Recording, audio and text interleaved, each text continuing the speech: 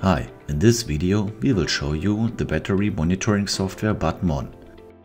Batmon is the battery monitoring software for the SMA commercial storage solution and is used to analyze and visualize the battery, even on cell level.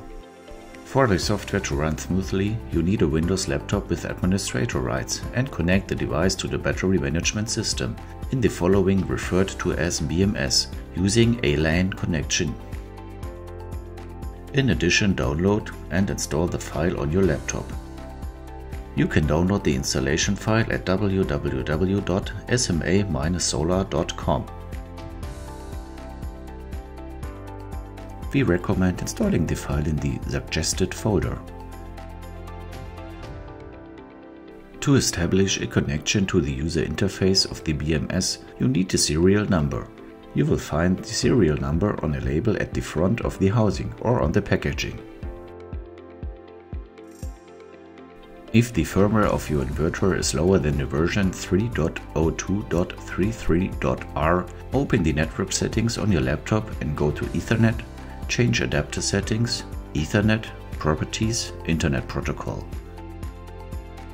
Select use the following IP address and enter a valid IP address within the range of the BMS. The IP address is displayed if you double tap on the BMS display.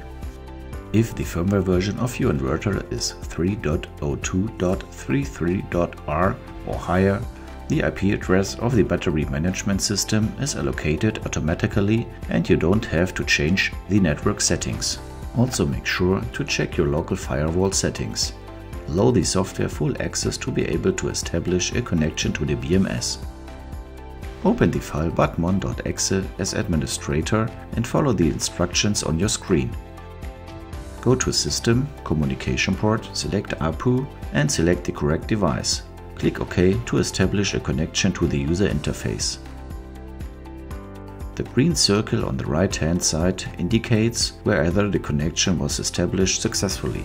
The software's user interface provides an overview of the battery values. Open the menu Cells to display the values of the individual cells.